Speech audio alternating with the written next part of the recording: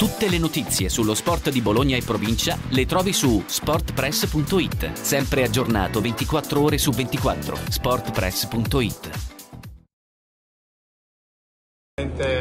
Grandissima soddisfazione, una vittoria per noi molto importante, una vittoria in trasferta che arriva al culmine di un girone d'andata, quindi sperata, cercata, eh, alla fine di una settimana che come avevo detto nel prepartita eh, non, non c'eravamo arrivati eh, dal punto di vista delle condizioni nel migliore dei modi, però che chiudiamo con due vittorie su tre e quindi per noi, per la nostra classifica, ma soprattutto per il nostro morale perché spero che oggi, eh, oltre ai due punti che chiaramente sono importanti, eh, questa partita deve darci la carica, deve darci la convinzione eh, che quando giochiamo con attenzione, quando giochiamo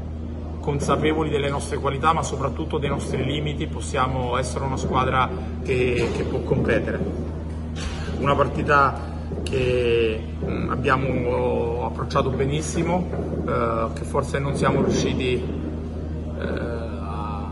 dire, a, prendere un immediato vantaggio, però poi nel corso della gara eh, era più 18 al terzo quarto, peccato forse più 15 a 5 minuti alla fine, ecco, forse peccato per la,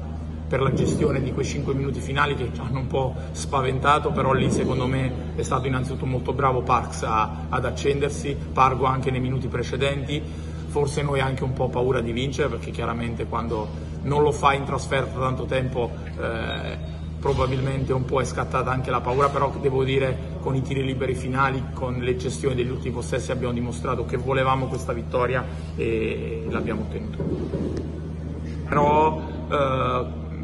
mi piace mai parlare dei singoli, oggi Duram è stato molto bravo, Fresia, credo che ognuno come spesso accade poi ognuno ha contribuito in una settimana tra l'altro dove tre partite per noi non abituati non è neanche stato semplice però ognuno ha contribuito alla vittoria ed è quello che, che più mi, mi rende felice.